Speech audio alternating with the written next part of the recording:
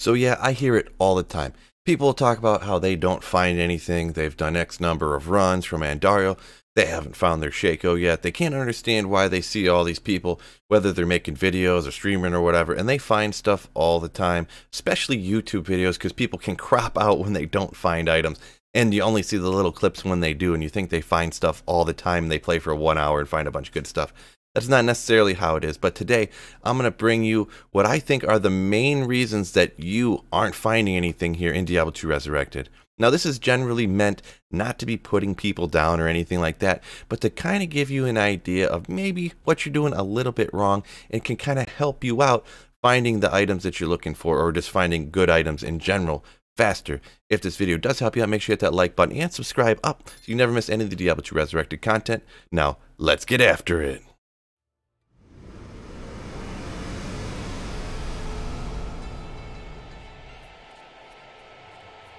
Number 1.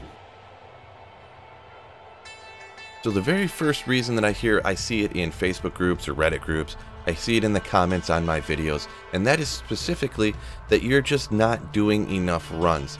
Now, I've seen comments, people, I've done 30 runs to Andariel, I still haven't found a Shako yet, I still haven't found an SOJ yet. What is going on? This is taking forever. Well, the thing is, is that you might not realize the people when you see these awesome drops on YouTube or on Twitch and stuff, these people have been doing hundreds and hundreds and hundreds and hundreds, maybe even thousands of runs in order to get these good items. Even more runs in order to get the high runes. You'll see people talk. Yeah, some guy found two ohms and a Vex and a Zod on the same day. That is not normal. No matter what anybody says, you can comment down below. Oh, professional real good streamers actually find six high runes every day, Phil. You're just a dumbass. Well, actually, I don't believe you. Nobody finds multiple, multiple Zods in, in one day. It just is not true. So if you hear these people saying they find three Shakos every single day, don't believe them. You just need to do more runs. You need to play more. And I know everybody has lives. You got kids, you got jobs, you got wives telling you to get off the computer and get upstairs and go outside and cut the grass or whatever. But that's kind of the first reason here. You need to do more runs, get more gameplay in, and then you'll definitely find better gear. Number 2. So the second reason I'm going to mention here that why you're not finding the better gear, and it's going to seem super obvious probably to a lot, and that's that you need more Magic Find. Now Magic Find will increase the odds of you finding more uniques, more rare items, more set items, stuff like that. It does not affect rune drops, so if you're looking for runes, this isn't necessarily the reason why, but when you're trying to find, like everybody's always trying to find a Shako for every single character in the entire game, you just need more Magic Find. There are some super basic ways to get Magic Find early on. My favorite is plugging topazes into a helm, and especially like day one ladder, I don't even necessarily wait to get perfect topazes.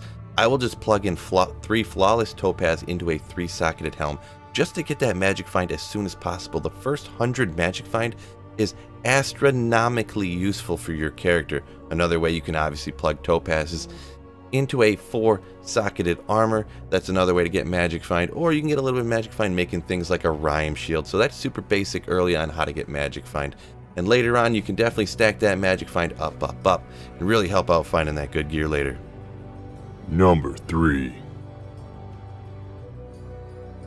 The next reason here of why you're not finding good items is you have too much magic find. Huh?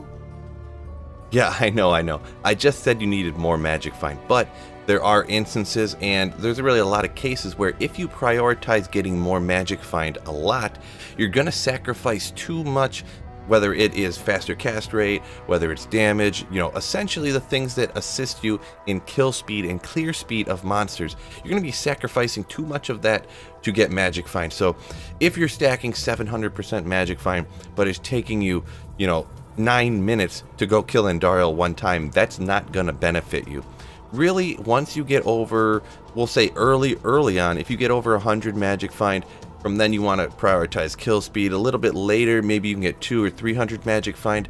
You don't really need to get more than like 350 or 400.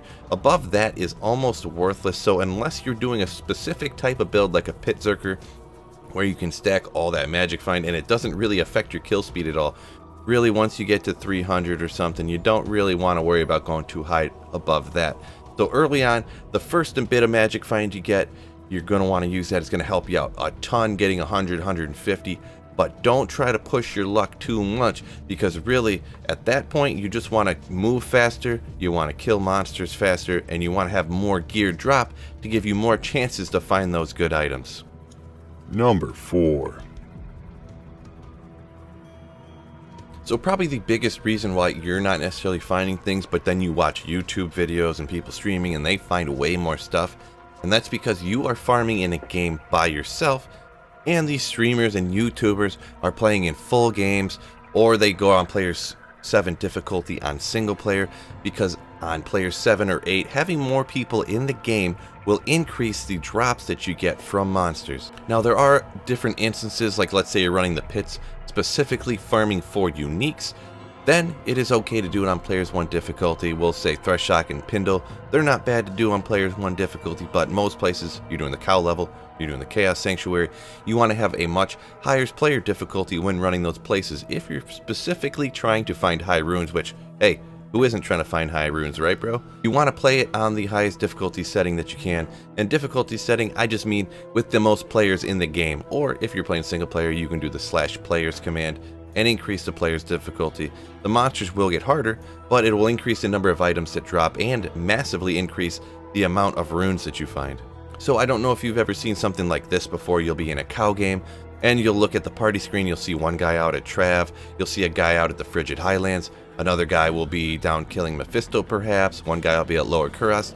They do this because when you join a game that is full, you can then go magic find other locations, you have the higher player difficulty, and then you can actually find way more like high runes at Trav and Lower Kurast, or even out at the Frigid Highlands, you just have a way better chance of finding runes and better items.